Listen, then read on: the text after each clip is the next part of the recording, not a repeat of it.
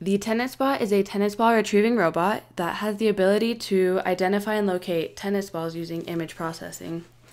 Once a picture is taken, the bot filters the image to detect the specific color and shape of a tennis ball. Once it detects the tennis ball, it can calculate the distance and angle it is relative to the bot itself. The Raspberry Pi is a small computer responsible for the processing in the tennis bot the coding is done directly on this device and is what controls all the components. It receives its information from the Raspberry Pi camera, which has the ability to connect directly to the Raspberry Pi. The camera sends images to the Raspberry Pi, which are then processed. Three servos are used on the tennis bot. Two of them drive the wheels and allow the bot to move specific distances, and the third servo is used to drive the paddle that pulls the tennis balls into the bot. In order to use these servos, a Raspberry Pi servo hat is needed. This provides the very specific and repetitive timing pulses the motors need to set the position. Using the hat instead of the Pi Linux kernel provides more accurate and faster results. However, since we are using the servo hat, a second battery pack is needed. Servos can use a lot of power, so it is not a good idea to use the Raspberry Pi's 5 volt pin to power them. Electrical noise and brownouts from excess current draw could cause Raspberry Pi to act erratically, reset, and or overheat. A simple portable battery is used to power the Raspberry Pi.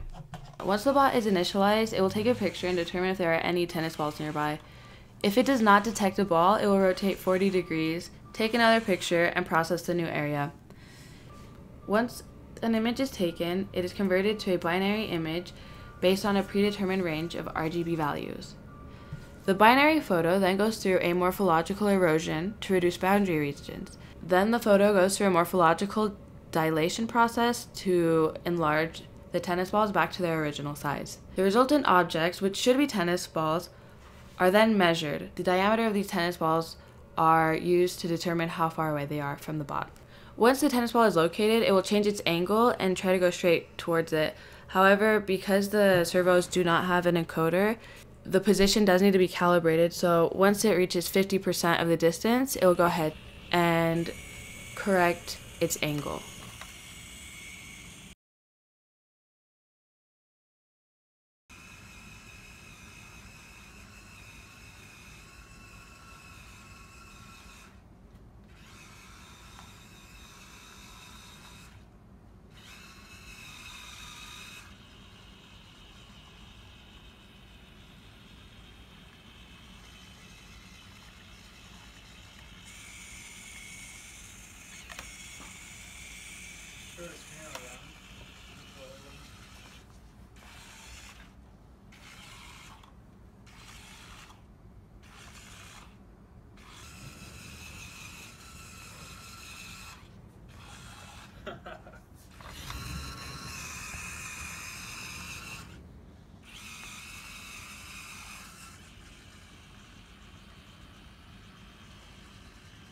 Got it.